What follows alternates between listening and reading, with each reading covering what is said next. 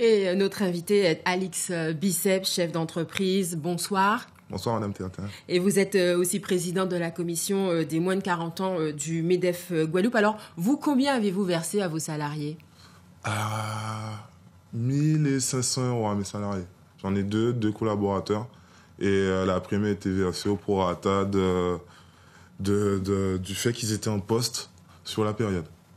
Euh, c'est la défiscalisation de la mesure qui vous a poussé, en fait, à, faire ce geste? Clairement, oui. Clairement, oui, parce qu'au final, sur, euh, je, suis à la tête d'une petite structure, une petite structure qui, se développe et qui est dans un contexte local qui est assez compliqué. On a fait une année qui n'était pas trop mauvaise, mais pas non plus euh, flamboyante. Et c'est sûr que l'idée d'avoir cette défiscalisation fait que la prime nous coûte le prix qu'on a donné et pas à 30 à 40% de plus, euh, comme tout investissement sur de la ressource humaine peut coûter. Donc euh, là, clairement, euh, oui, c'est la défiscalisation m'a m'a permis de prendre cette décision. Alors, vous m'avez parlé, vous avez dit, vous dites une entreprise, une petite entreprise. Donc, en fait, votre entreprise est une entreprise de conseil en, en digital. C'est-à-dire surtout, on accompagne les entreprises à se positionner sur le numérique par la communication digitale, parce qu'on fait du conseil en communication digitale, on fait de la formation en community management, par exemple, et surtout, on crée de plus en plus d'outils pour aider les entreprises à développer leur productivité, aussi bien au niveau de la gestion des finances que la gestion de projets. On met en place avec les entreprises des outils pour mieux travailler. Alors, dans, le reportage, le chef d'entreprise euh, disait qu'il voilà, qu'il il parlait de, de, redistribuer de manière équitable euh, les bénéfices.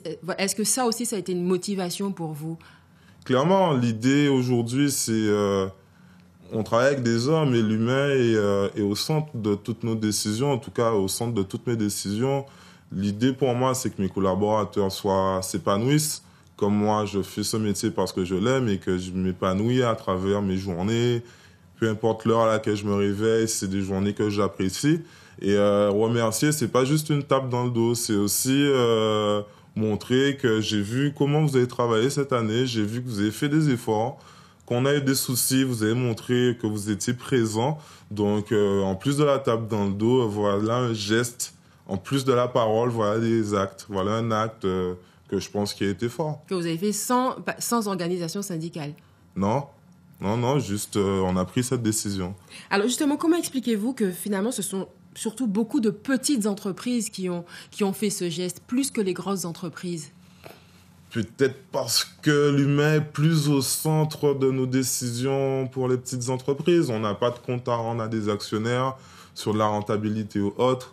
En Guadeloupe, on est euh, souvent des petites structures euh, des petites structures qui, euh, on est proche d'une relation, je dirais pas familiale, mais pas loin. On passe beaucoup de temps avec nos collaborateurs, on crée des liens. Et euh, le fait de créer ces liens peut-être donne plus, incite plus à remercier, à savoir dire merci. Là aujourd'hui, avec tout ce qui se passe, la crise des gilets jaunes, les débats citoyens, vous êtes serein en tant que chef d'entreprise? Pas du tout.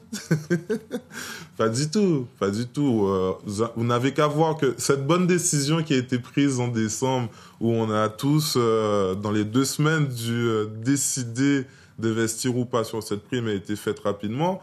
Mais là, avec le débat citoyen, dans deux mois, il peut y avoir n'importe quelle décision qui va impacter positivement ou négativement ma structure. Donc, sereinement. Mais au combat, oui.